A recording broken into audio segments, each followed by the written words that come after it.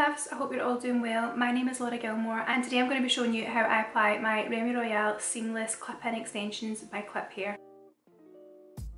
Before applying the clip-ins, I like to brush out my hair to remove any knots. This brush from Cliphair is super good for detangling. Once my hair is feeling nice and smooth, I use the Cliphair Moisturising and Nourishing Spray and I spritz this through my mid-length to ends. Then it's time to section off my hair, ready to apply the clip-in extensions. I brush through every section individually and then also brush through the extensions before applying just so that we have a seamless finish. As you can see the extension clips are really flat making them really easy to apply and blend with your natural hair. I like to start with a three clip left at the bottom and then I'll move on to the larger pieces as we move up the head. I tend to find that hair extension placement is total personal preference so have a play about and see what feels comfortable for you. It's important to brush through every section as you apply. I find that this really helps to blend your natural hair in with the extension pieces.